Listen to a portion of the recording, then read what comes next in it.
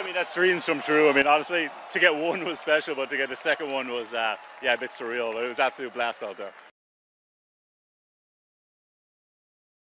Yeah, I mean, obviously, like it's probably not going to be as exciting as that, but you know, we'll do our best and hopefully hit some good shots. And you never know what happens on the on the big course the next couple of days. But yeah, it was just really fun there today.